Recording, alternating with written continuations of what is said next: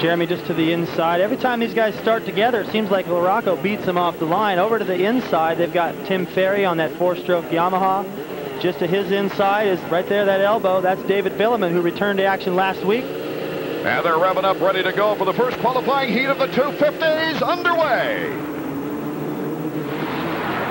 McGrath with a great start. Ferry goes down in a big log jam, including Vuillemin and several other riders. You see number 13. I think I'd change that number if I were Tortelli. He's easy to pick out tonight because he's all in black. Glad that this race doesn't happen during the day because he would have been dying of the heat. The mummy returns, and we'll explain that a little later as Jeremy McGrath is out in front of Mike LaRocco right now.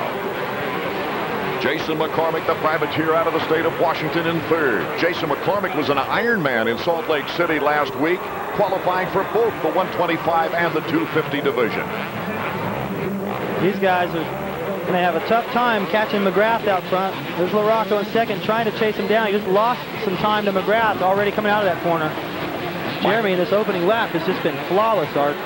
Mike LaRocco re-upping with uh, Honda and his team, Amsoil Honda, for a two-year stint.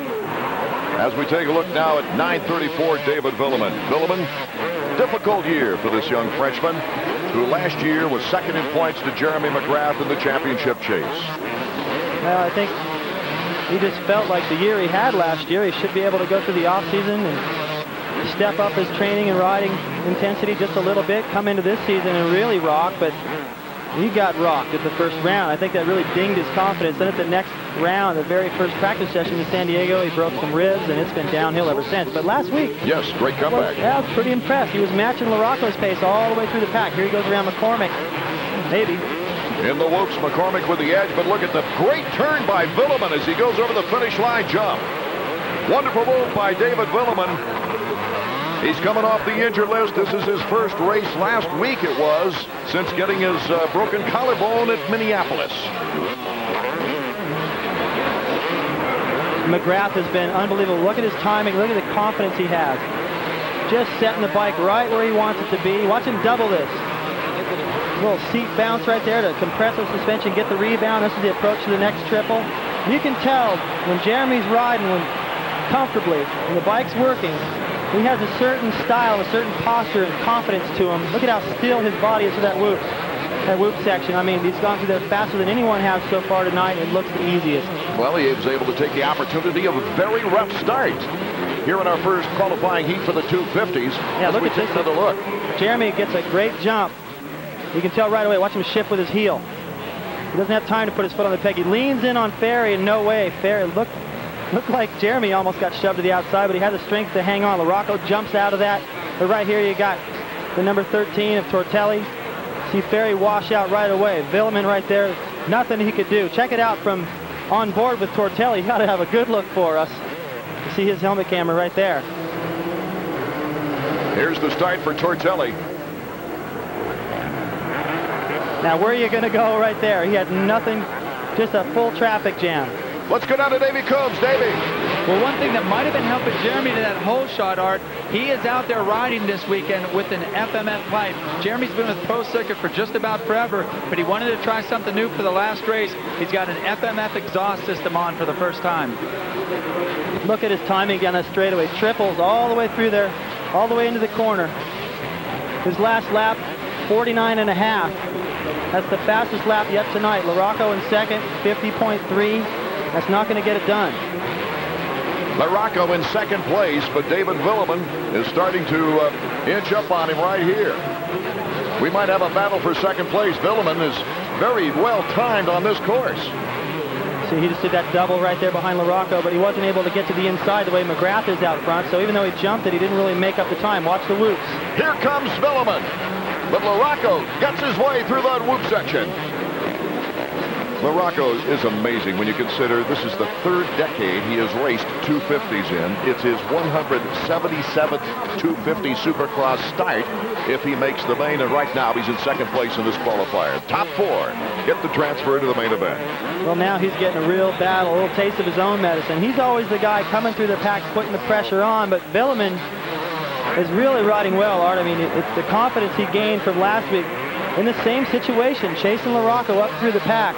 He's able to study him. Now watch see if he goes for this double again. Now LaRocco's doing it through the air. He slides forward, puts his foot out so he gets the corner made a little quicker, but they're still not catching McGrath. Almost a six-second lead for him. McGrath issuing the statement that Ricky Carmichael, if you're going to tie my season records, you're going to have to earn it here tonight. To bar.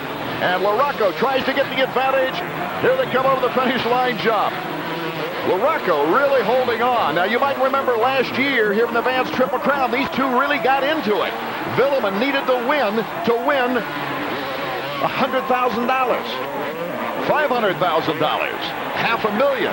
Hey, when Rocco you rode him off the track. When you get to that many zeros, who cares? I'd be happy with a 100. Yeah, that, that was, uh, these guys got something to prove to each other. Vuillemin does not want to let LaRocco get ahead of him again in this, and LaRocco's going, hey, stay back there.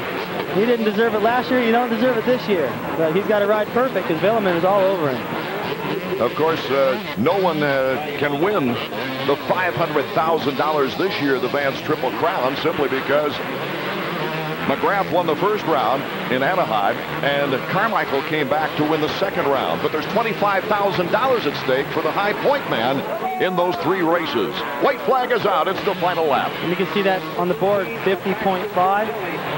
McGrath still hovering around that 49 second mark, so he's still getting away from these guys. Less mistakes, a little bit aggressive, more aggressive here and there. This is coming into the sand pit. He overjumped that a little bit. That's the first mistake I've seen. He still gets over that double, no problem, right to the inside. He just looks good, Art. You can tell when McGrath is on. There's the knack-knack. He's feeling it. Jeremy McGrath, he might have come in second this year to Ricky Carmichael, but he had a good year, the seven-time former champion, two wins, 10 podiums in the 15 rounds. The checkers are out. The checkers are flying for Jeremy McGrath. The flashbulbs popping. Jeremy takes the heat win with Mike LaRocco holding off number 934, David Vuillemin on the Yamaha. Great race for second place, and the two riders acknowledging each other. Look at David Vuillemin. He pointed back to LaRocco saying, good race. Yeah, thumbs up. I didn't think I would see that. He was real frustrated last year, but I think he's having fun. I mean, he didn't ride the whole series. Nothing's really at stake here. He's just getting tuned up for the outdoor season next week. For the comments from Jeremy McGrath, let's go to Davey.